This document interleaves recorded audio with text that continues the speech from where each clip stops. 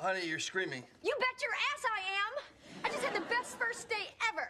The kitchen, twice as big as Alessandro's. Oh, that's great. Yeah, and, and, clean, not just health department clean, Monica clean. Awesome. Oh, and the people are so nice. There's this one guy, Jeffrey, he's the maitre d'. Chandler, you will love him. He is without a doubt the funniest guy I have ever met.